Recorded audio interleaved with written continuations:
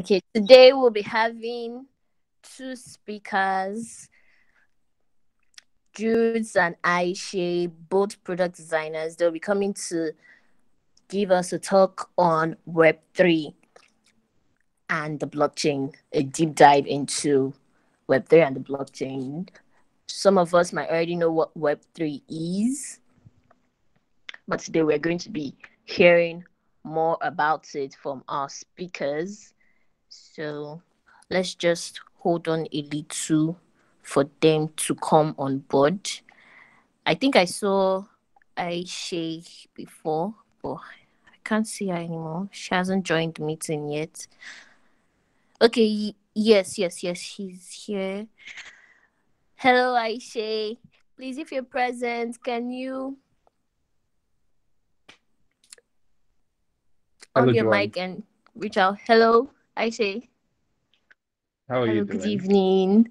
Good evening. I am fine. How are you? I'm good. Thank you for this meeting and thank you for reaching out. Um, what am I even saying? Oh my gosh. Okay, thank you, thank you, thank you, thank you for coming on time. Since you're here first, let's just begin with you today. All right, no problem. Okay. Uh, okay, so first of all, you already introduced me as a she. That's very interesting. I'm Yes, sorry. now you are carrying it. Yeah. Will you, you behave No. yourself? All I'm right. sorry. Um, no, it's fine. It's fine. I think probably the name caused it. So, my name is Isa. Yeah. I'm a product designer who specializes in Web3 products.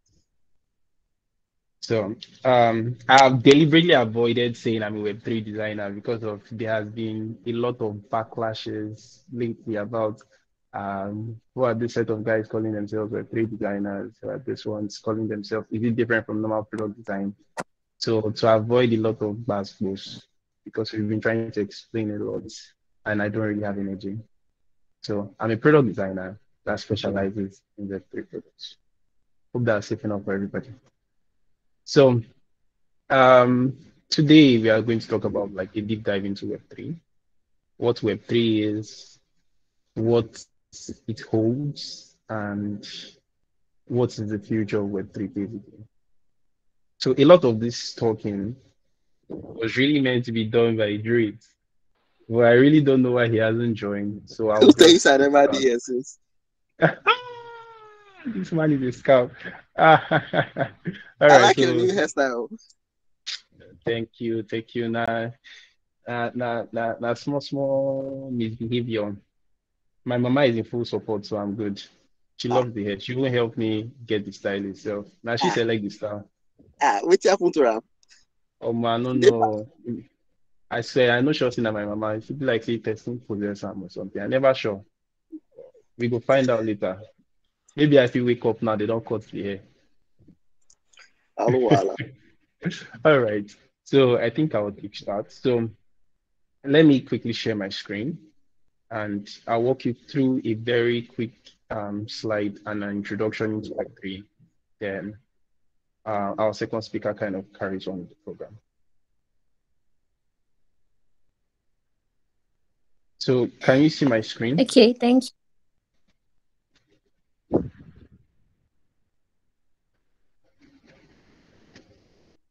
We dey see him. We dey see him. All right. So this slide was actually a template gotten by Samuel. I kind of started working on the slide like an hour ago. Had a very busy week, so I didn't really have enough time to like. So it's just a very very quick summary of things. So I had to like leave his name here for reference. And I'm not gonna steal somebody's design and not give honor to honor is due. So this was done by Sam. Thank you very much for the slides and the template. So this is going to be a deep dive into Web3, what it is and how it has grown.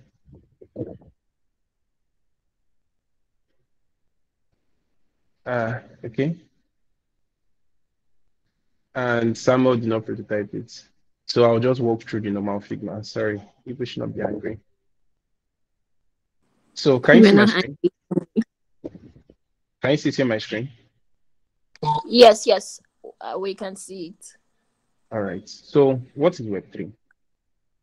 Web3 basically um, is named some technologies have given to the idea of a new kind of internet service that is built using decentralized blockchains.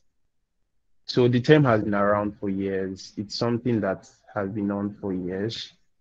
And it just came into limelight, let's say, over the last one, two, three years ago, but with major emphasis on the last two years. Now, it has been defined and the internet owned by the builders and the users, which is orchestrated and heavily backed by something we call tokens. So, what are the forms of Web3? Web3, um, those involved in Web3 have kind of envisioned Web3 to have taken many forms, including decentralized social networks.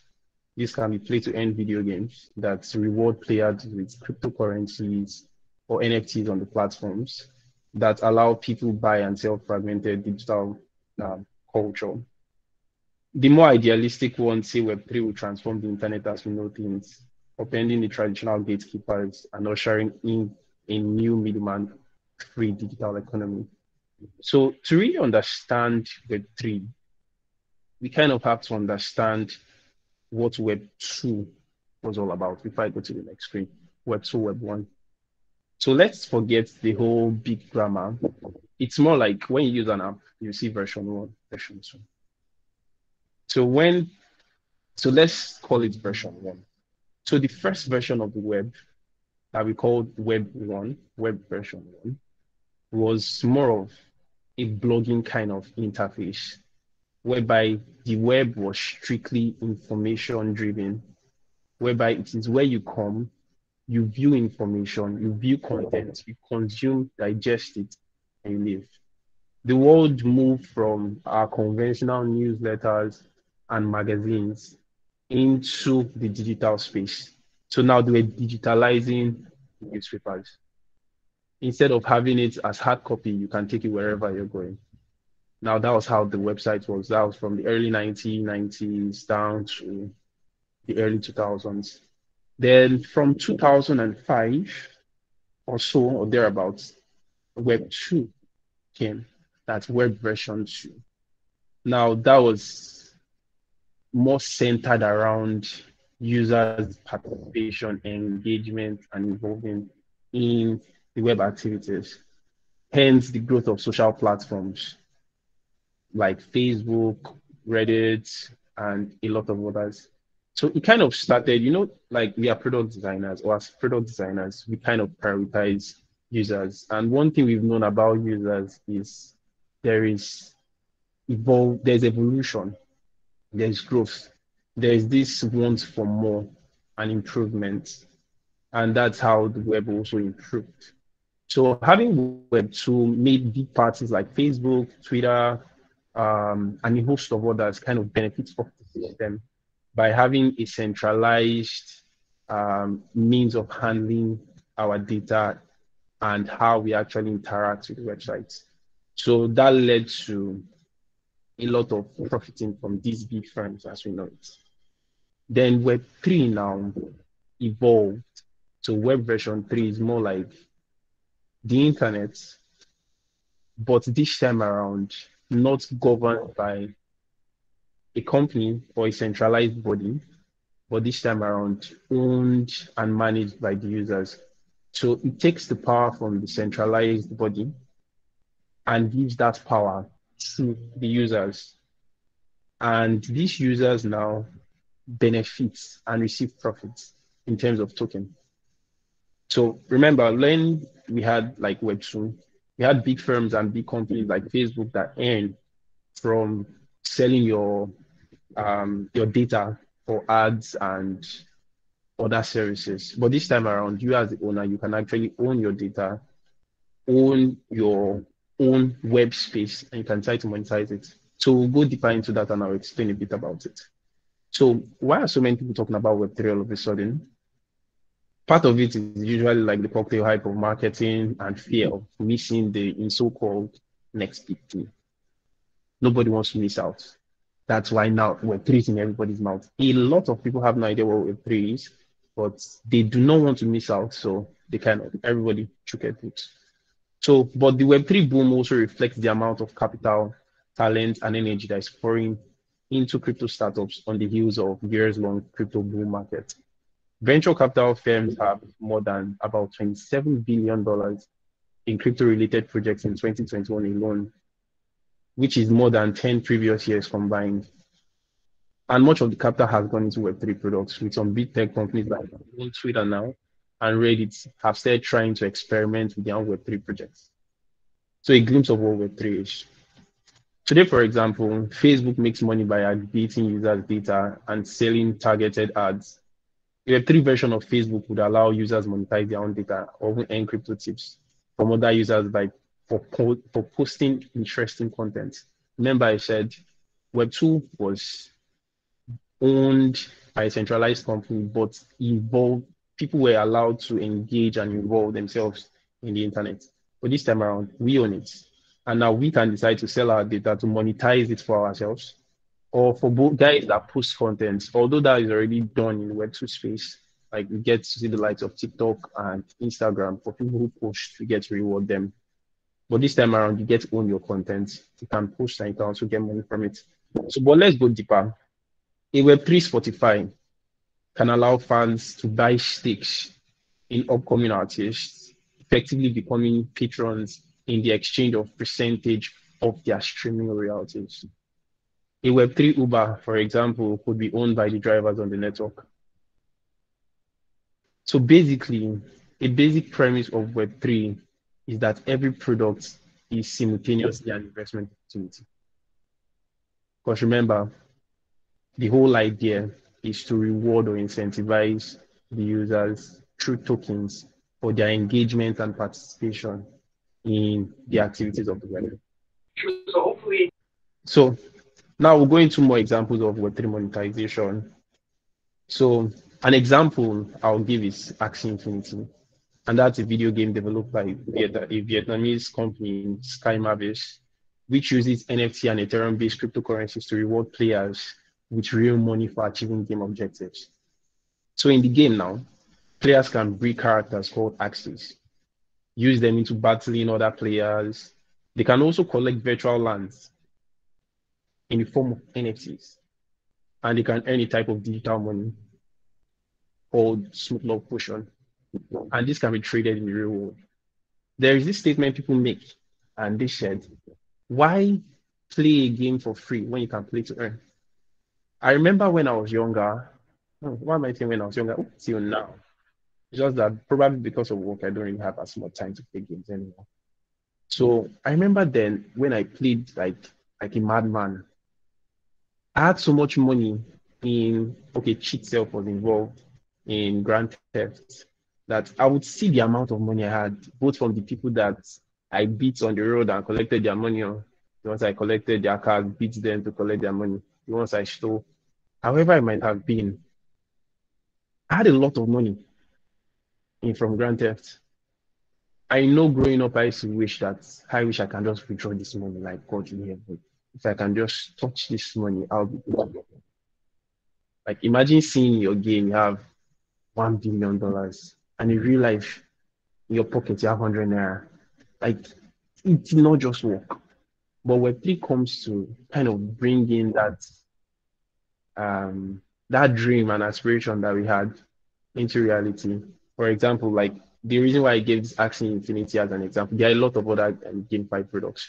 But imagine playing the game you earn, and that Grand Theft Auto, I earned something called, let's say, GTA tokens.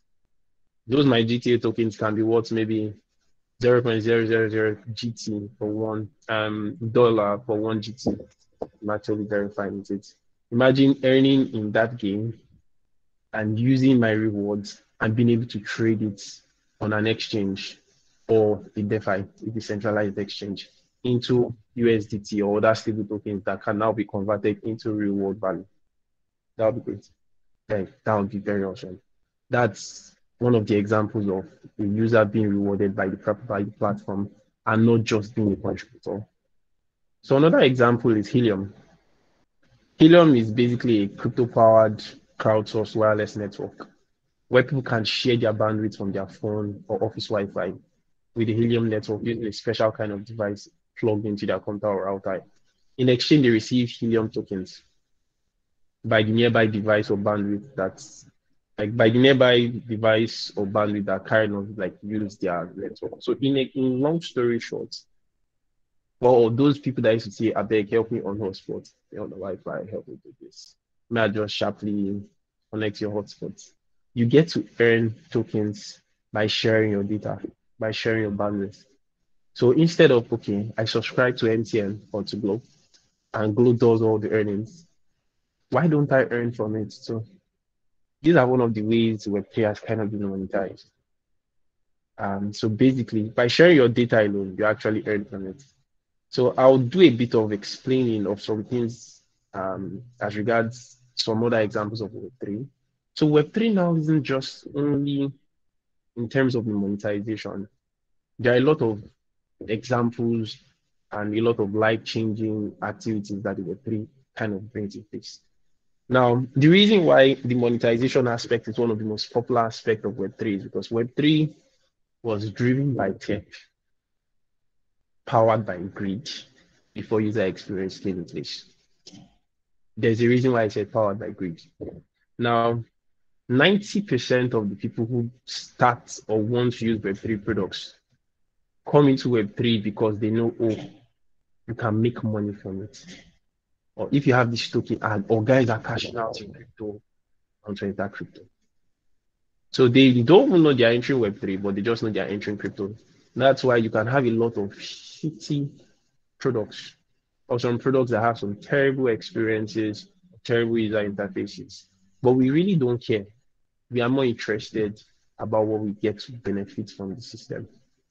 So now a man that has something to benefit from a product would go the extra mile to actually learn the product. Now, does that balance user experience? You know, user experience is meant to give a user a seamless product to solve his task or to carry out his task to solve his problem. But it's when a product is driven by technology, it's the other way around. Users get to learn the product. Now, because it is powered by greed, we have no problem learning it.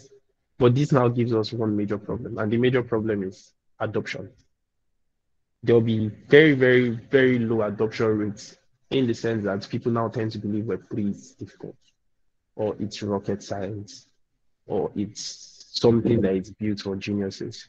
But the truth is actually Web3 is just a decentralized version of Web2.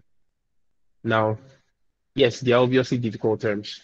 They are obviously difficult things, but for every niche of every um, basically product, whether be it fintech, be it e-commerce, they have their terms and they have um, their features. I'll put in that simple term.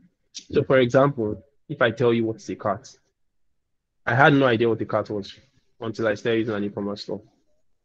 Now, it was something that was very easy to understand. Yes, you are to cart because you know you're going to check out. It didn't take too long to understand, but still I had to understand it the system made it easy for me to understand. Now, that's one of the problems Web3 are facing, but we'll come into the user experience part of Web3. But for now, people came into Web3 because of the monetization aspect. But a lot of things can be done on Web3 that are life changing. So um, I'll give an example, then I'll move on. Um, there's a product a friend of mine, myself and a friend of mine are working on. So, like a very interesting product Like he was one. He, I don't know how he thought of it, but it was a very nice product, and it's a product to help folks that have probably passed away or passed away and lose their funds. So, for example, I know if I say the statement now, my mother will shout plenty God forbid. But if I die, for example, a lot of my crypto assets will be lost. Can be lost in liquidity pools, or if it's in a centralized exchange, it can be lost, lost in the exchange without necessarily knowing um, what I have or anybody having access to what I have. It happens a lot with people that have money in the banks and the rest. We've had a lot of folks that probably pass on and the money in their banks get lost forever. But this time around, you have a product where you can get to um, link all your centralized and decentralized exchanges. I would explain those terms. Centralized exchange is just like a regular Binance.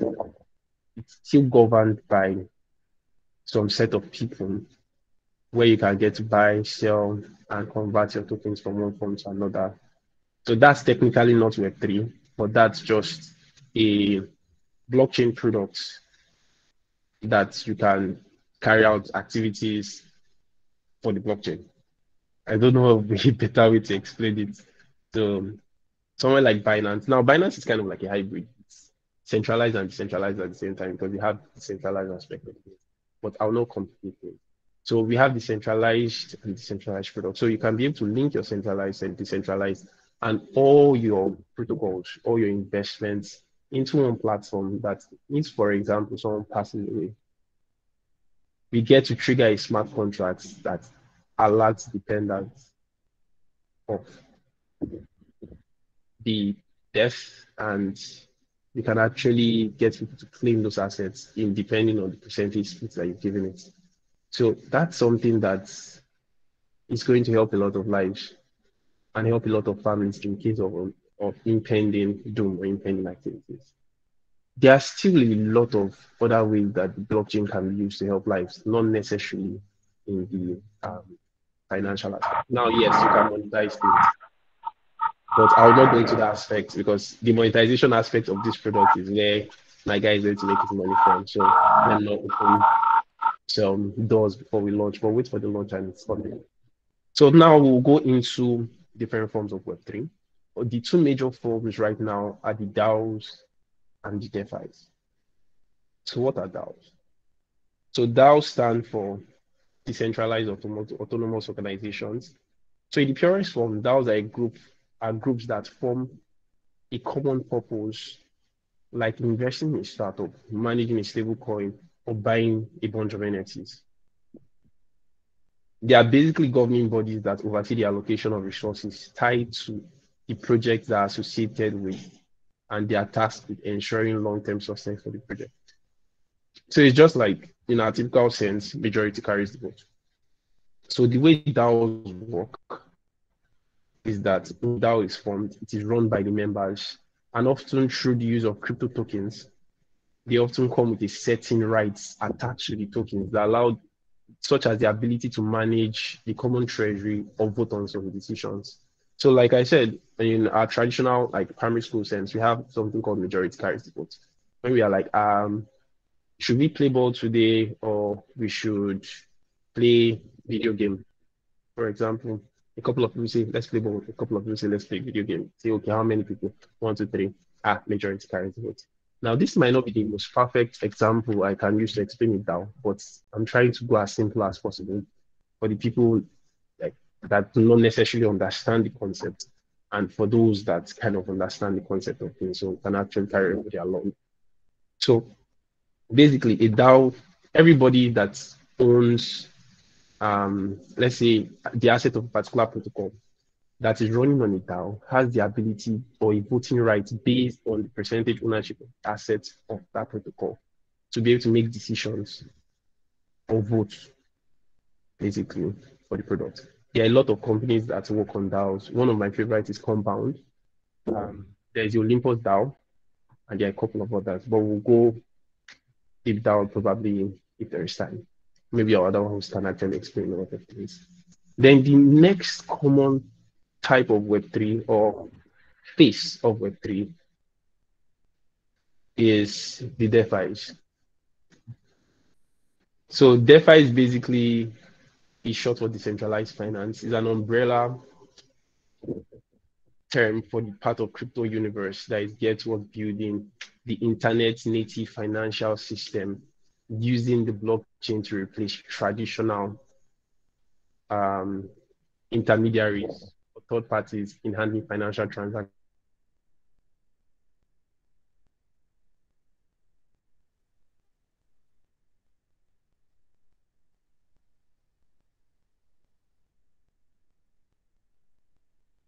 needs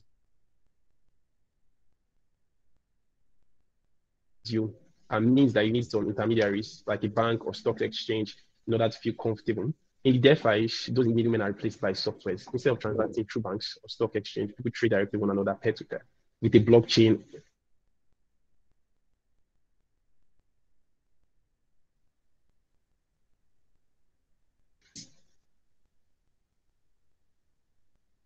I don't. It's a way of making market settling trades and entire and, and ensuring the entire process is fair and trustworthy. Um, so there are a lot of DeFi protocols. Um, we have lending platforms. Example, you have your Aave, you have your Compound that basically incentivizes users for lending their assets. So instead of ah, I don't have crypto on my hands or, or I have crypto I don't want to sell. Now a lot of us say, oh shit, especially when crypto is dipping, ah, I don't want to sell. Instead of selling, why not just go to a lending and borrowing protocol? You actually borrow from the protocol, you stake your assets. Then when you are done, you can do your business, do whatever. You repay your borrowed amount and you collect your asset back just like your normal, yeah, you go and meet your guy, get out to borrow money. Okay, you borrow him, he gives you interest. Also, for putting in your token, you earn interest. But I'll not go too deep into that. We have indexes. For, so for example, for some indexes, um, you have you have set tokens, you have options, you have vault, you have arbitrages, you have staking pools, you have vault, you have swaps, you have launch pools, you have launch pads. So there are a lot of DeFi protocols or DeFi features basically, crypto people are building their own version of Wolf of Wall Street. One large decentralized and deal exclusive in crypto markets with crypto versions of many products offered by the traditional firms, but now in a decentralized manner. So I think I'll stop here so while the speaker can speak. If there's once it's done, and I'll be open for, for questions, basically. Which one be Okay. one is done?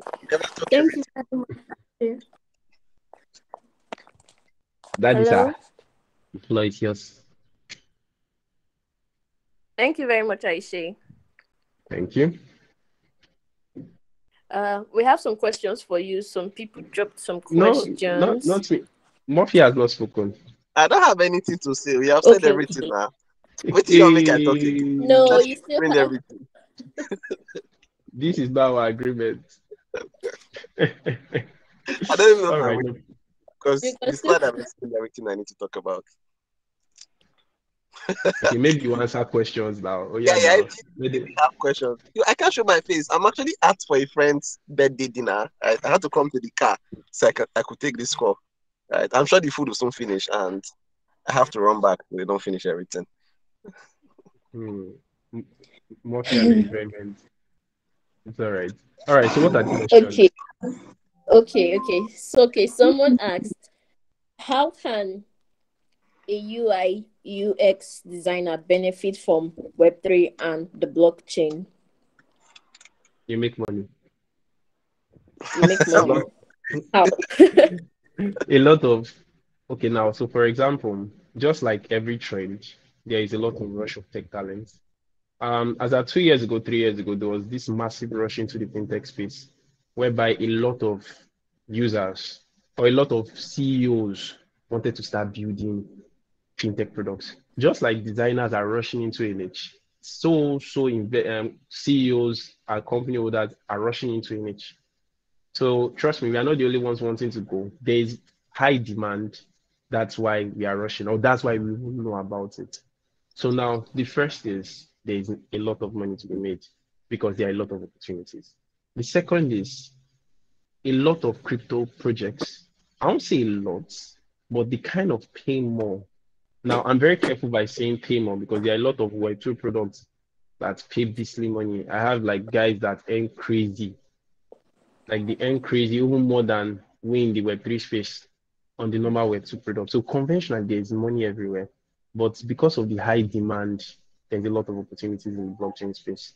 So you can make money as a UI designer on the blockchain space. Okay. Thank you. Uh, there's another question though. Oh yeah, sorry. Before you go to the next question, yeah. So apart from making money, right, you get to work on a lot of interesting things. Um, I think the main reason I actually left designing traditional products, traditional in this sense, basically means any product that's not Web3. Uh, it was getting very boring. When they say do fintech app, it's usually the same UX templates. When they say design a website, it's actually getting boring. So if you're a kind of person like me that uh, you don't like getting bored, you work on a lot of a lot of interesting things. Too many interesting interesting things to work on. Yeah, so um, I mostly transitioned from being a product designer. Yeah, like I said mentioned, there's this whole drama about calling yourself a Web3 designer, right? But just putting that title on my portfolio, I've gotten contracts worth a lot of money, right? So despite the whole Twitter talk, clients to come and meet you because you have Web3 designer in your bio. Yeah, so you get to work on a lot of interesting things. You get to work on games. I'm working for a very, I can't even give much details, but company I'm working for right now, it's probably my dream company, right? Because they do contracts for Google, Microsoft, they do contracts for most of these big blockchain companies, right? And I get to work on all of these things, right? So if you're looking for a place where you grow very fast and you want to work on a lot of interesting things, then Web3 is for you. Then, like I said, mentioned, money and freedom, right? I think I was in the call last week where my boss sent me a message on Saturday saying he wants me to come to Dubai the next day and stay in Dubai for like two weeks. They'll cover the whole cost, right? This is something a fintech company will not offer me, right? Or most of them will not offer that. And I was even doing Shakara. I couldn't even travel. I told him that I cannot travel for like this very short notice. This is Saturday. You want me to travel on Sunday? I'm in Nigeria. I have to apply for visa and arrange my suitcase and do all that. Then he said, okay, come before March 8th, come before April 8th, but I can't do April 8th, right? So now I'm negotiating when I should go to Dubai. I think another one they invited me to New York around May or so. Right. So you get to travel a lot, right? We are doing remote work, but most of them want to fund your traveling. I have another trip in Paris in July, a different company sponsoring that. So you get to travel, work, work a lot of interesting things, and you live your dream life if you are very good at what you do. Okay, thank you. I have 30 questions for you. Okay, next one is how, if I want to transition into the blockchain industry as a UI UX designer, how can I go about this? Do I need to learn how to code? Is it necessary? not at all. I can't I can't write shit code, not at all. You don't need to know how to code. You don't need to learn other I think there's this I think I don't know, I think Joseph Brendan made this post about design not being enough. And ideally I will not quote this kind of um, tweets, right? But I have to quote it. Just being a designer is enough for you, right? You can choose to be a product designer, then start learning things that would complement your product design skill. It can be illustration, 2D illustration, can be 3D, can be motion, can be game design right? But you just stack up on your product design skill. So that way you have a very deep knowledge or extensive knowledge of design. You don't need to know how to write a single line of code to make money, right? I make enough money for myself and I don't know how to write code, right? I, the time I spent learning how to do Flutter, learning HTML and CSS, if I actually put that time into design, right, I think I'll be a better designer. So instead of wasting your time learning how to write code, you can focus on being a designer. Because in Invent, you learn how to write code and you're also a very good designer, right? They are very rare, but most times when they get to work for companies, especially Nigerian companies, they'll get exploited in the sense that they want to do the work of both a developer and a designer, right? And they won't be paying double salary because the idea is if you are paying your designer 10k and paying your developer 10k, and you want me a hybrid that can design and code to work for you, ideally I would expect you to pay me 20k, but you also want to pay you 10k. So now you're doing the work of two people and earning the salary of one person right? So it's not better you do the work of one person and earn salary of one person. That way you have less work and you earn more money, right? So probably I say have something to say on that. The only thing I can add is you have less work to do more work for other people. So you can shower up and down. okay, thank you. Okay, next question what are the resources you can recommend to help a UI UX designer in this field in Web3, trying to transition into the Web3 space? Mark, you want to go? Ah, ah the, the only thing I always see, the only thing I always see is learn how to use Web3 products, right? I don't think there's any shortcut to it. It's basically just using the products, learning how they work, then attempt to redesign or something. But you know, you have to know how the product works because most times when you get, you are very lucky, right? Probably they don't need a Web3 designer or they just need a pro designer, and you don't need to have prior knowledge of Web3. if you don't know how that space works, probably you're working in a lending space, a game space, an insurance space, or whatever Web3 niche you're working on, right? When you get thrown into that role for the first for the first, second, third week, you're usually very confused. You're in meetings, they are seeing a lot of things. You open the Figma space, you're not even sure how the product should work because you have no idea how that protocol is supposed to work. So the first the first thing will be for you to use this product, have a good idea of the basic mechanics of how they work, then probably dive into uh, the product white paper. Right. For you to design a good product, you need to know how it works. So use the products, just keep experimenting. You get to see a lot of a lot of things. There, the more you keep experimenting, the wider your your knowledge bank becomes, right? And you are more articulate and you can contribute to meetings, right? So the best thing I always say is use this product and get familiar with them. Okay, so it's just. Uh, yes. Actually, you have to say. Okay. Okay, I was like, that's basically a summary of it. So just like I said before, that product design is all about solving problems, and we solve those problems with pixels. Except from the guys that are into customer service design or other forms of industrial design. So we've solved the problems with pixels. So Web3 design is just basically solving the problems in Web3 space. So with the foundational knowledge of UI, principles of UI, the principles of UX, you need to understand UX because Web3 has a lot of UX issues. But with those foundational problems or foundations in check, what you now need is to understand the problems in the Web3 space. You need to use the products to understand the products. Then, okay. understanding the product, you can actually solve the problem. You can start designing the Web3 space. You can check out Binance Academy though. I think I like Binance Academy. I learned a lot from Binance Academy. Then you can check out these guys on YouTube. You call them um, White Paper, White Paper Crypto. They are more like an animation series. Like you just explain it, crypto terms. Whiteboard or white, I think whiteboard. Let me check for them and send one of their videos. Whiteboard crypto. Okay, thank you. All right.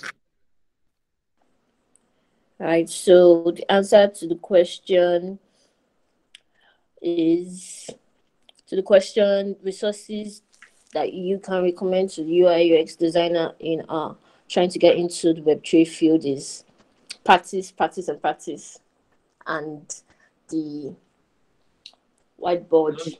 Yeah, not necessarily practice. I, use the products. Use you can start with Binance, your conventional centralized exchange, then you can move into the DeFi space. Because if you're designing, I see a lot of people telling me that okay, they want to learn Web3, but what they're designing is Binance, they are designing. You are most likely not going to really sit in well in Web3 space because Binance is heavily centralized.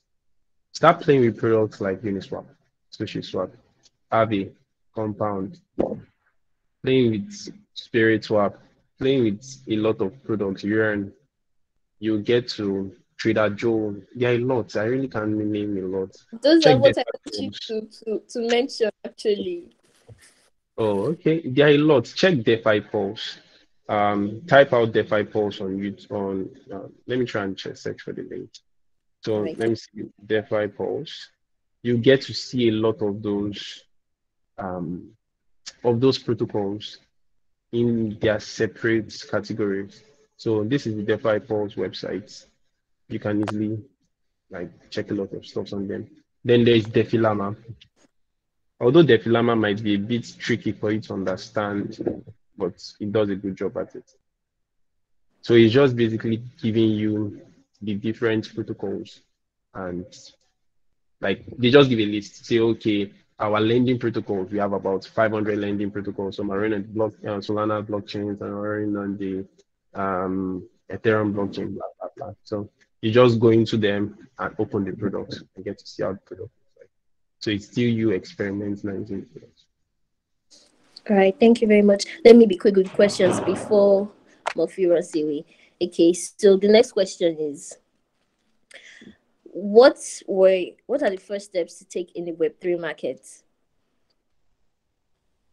understanding the product understand okay you you kind of already said that okay so the next question is is there a Okay, I think you already you already ex- explained that one. Let me move to the next. Is Web three and blockchain the same thing, or do they differ? Because I am kind of confused.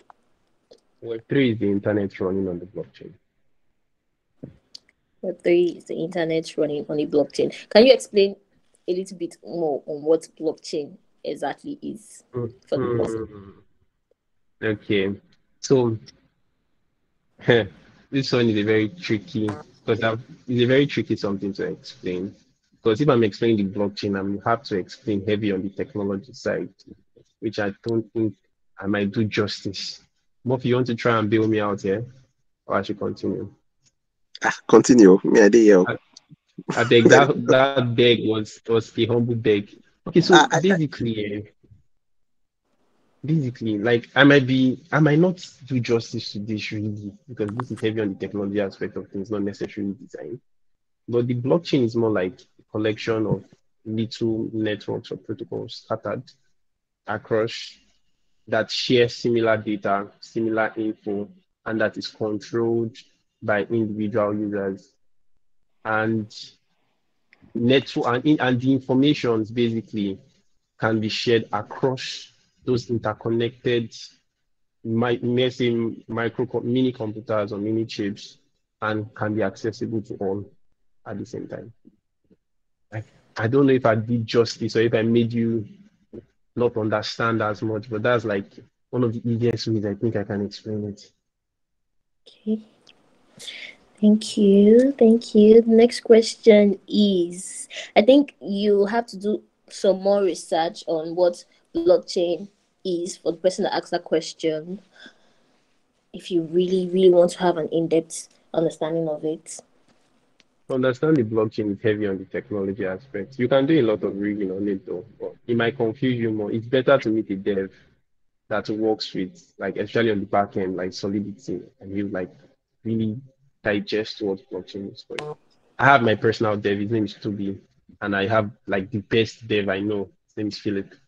Once I have any issues or things concerning to me or some terms, I can easily run to them. You can meet me, I can give you their numbers, but they, they charge consultation fee. So Okay.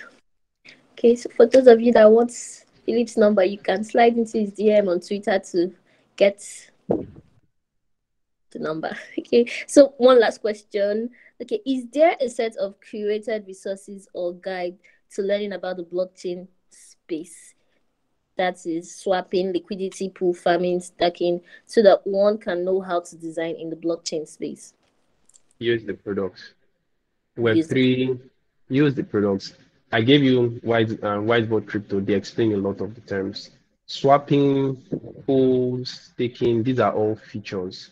Just like you have in your fintech space, you have your sending money, you have your receiving, you have your buying, paying for services, you have your buying airtime. It's still similar stuff. These are services. Swapping just basically means trading or, or converting of one crypto to ah. another in a decentralized manner. And all of them are interlinked because for you to for you to swap, there has to be liquidity. So now one of the ways we broke out of centralized like exchange because centralized exchange gave you the ability to swap very quickly. Now because they control the token. So for example, your banks now, you have a bank, everybody here puts money in their bank. If I want to collect, let's say, one million, for example, I don't need to, the bank doesn't need to say, okay, this is the one million that I said deposited, this is the one million I'm going to give back to him. No, they have a centralized treasury where, okay, I want one million, I collect one million from the treasury, I give, I say, they just debit the numbers on my account saying, okay, minus one million and give me my remaining balance. But there's a treasury where they took that from. That's why people were always complaining that the money is not still being owned by you because it's being controlled by the centralized exchange. So the swapping thingy came to break that norm by providing a peer-to-peer kind of means of exchange. But there was a problem, and that is for me to exchange, let's say, my USDT to BTC, I'm kind of selling my USDT. I need to have someone that is buying USDT and that is willing to sell BTC to re- um, receive USDT. So I would have to wait sometimes days before I can find someone who's willing to make that exchange. So hence the term liquidity came. Liquidity pool is kind of Ajo whereby all of us come together, we pack our money inside the pool. So okay, everybody here, you bring your money, put inside the Ajo. You don't bring money, put inside the Ajo, put inside the pool. Then if, for example, Murphy wants to exchange his USDT for BTC, they take from that pool and give to Murphy. But the advantage is for everybody that contributes into that Ajo, for every swap, there is a fee attached. The people that contributed to the pool get to earn from that fee. That because of the activities carried out on the pool. So you see the interlinking between liquidity pools swapping. And a lot of all these other features are still intertwined. For example, your staking. Staking just basically means dropping my crypto assets for the protocol that can be used to invest and I get to earn either the token of the protocol or the token of the investment over time. There are other features, and the best way to actually understand it is to use it. And if you don't have the money to gamble with it, the best way is to just watch videos on. Like I love Whiteboard Crypto. They explain it like it's basics or you read a lot of articles, like go on Binance Academy. Binance Academy does a lot of just to explain a lot of stuff. Just type out the feature swap, research on what swap is, liquidity pool, research on yield farming, research on what yield farming is, and you get a lot of insights. If you still have issues, you can come to my DM, but I will not really be able to digest it here. Uh, thank you, thank you, thank you, thank you so much. That's the last question we have for today. And I want to say thank you for coming to teach us what you know. Do you think it's a pleasure. again. Okay, okay. Right. You can go and eat your rice now, Murphy. You can go and eat your rice. Murphy has run already. That man does not need to use eye to hear oh, food. All right. To see food, sorry. Okay. All right, no problem. Hey everyone. That's it for today with Design with EU. You you guys can go subscribe to our YouTube channel. If you came in late, you can find the recorded version of this session on our YouTube.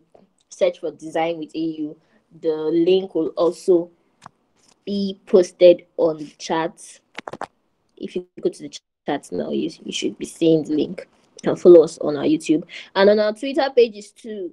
Give us a follow our newsletters will be up and running now. We dropped our first newsletter, so you can go on Twitter and sign up so you can start receiving our newsletter in your emails. And that's that. See you tomorrow, um, next week Sunday, with another speaker. Bye bye, guys. Bye bye.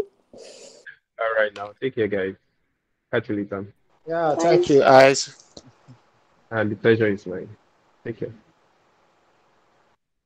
Bye. Good night. Please don't cut the call. Let's copy oh All all right, the guys. links. Please, oh. All right. You guys can copy the links that were dropped by